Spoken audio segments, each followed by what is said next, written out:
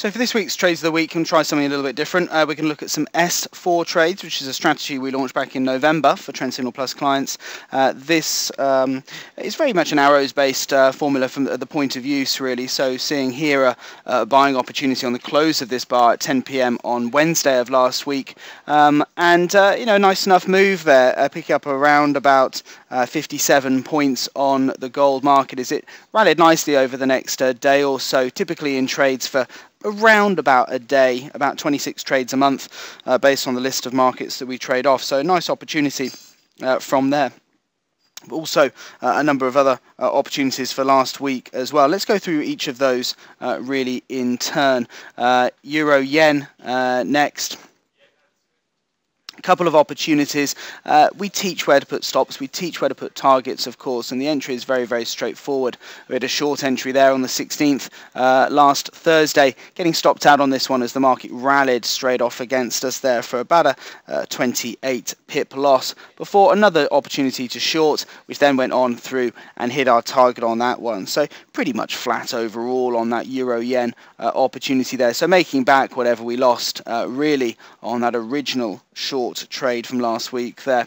Uh, sterling yen giving us a short, riding that little bounce off uh, before market then going on through, hitting our objective on this one, around about a 57, 56, 57 point winner uh, on sterling yen there as well. Euro New Zealand. Lovely buy on Euro New Zealand from here. Uh, that was a 38 point uh, winner uh, from there. a nice move actually on Euro New Zealand as we bought the market on 6 p.m. Uh, on the 16th of uh, February.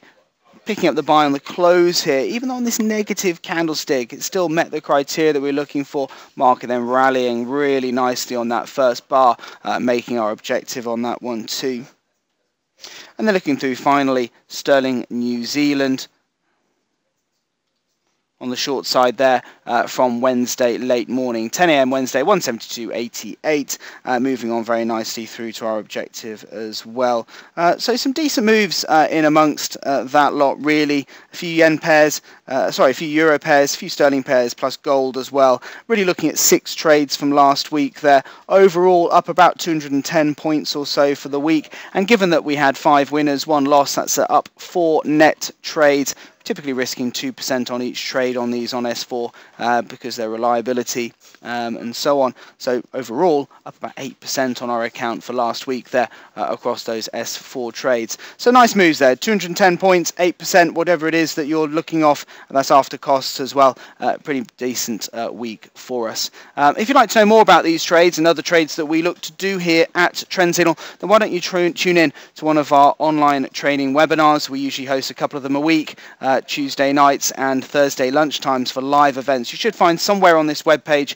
the ability to book uh, and register your own free place to attend one of them, where we'll teach you about one of the strategies that we use, or a couple of the strategies we use really, stops, targets, and how we manage those trades as well. So if you want to get more into uh, simple to use strategies, then why don't you make sure you attend, and hopefully we look forward to seeing you online. But otherwise, have a good week, everybody, and uh, hope for more of the same uh, in next week's update.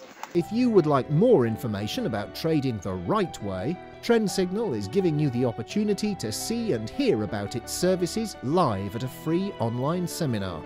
Take a look at the Trend Signal website for the latest events and to book your free place.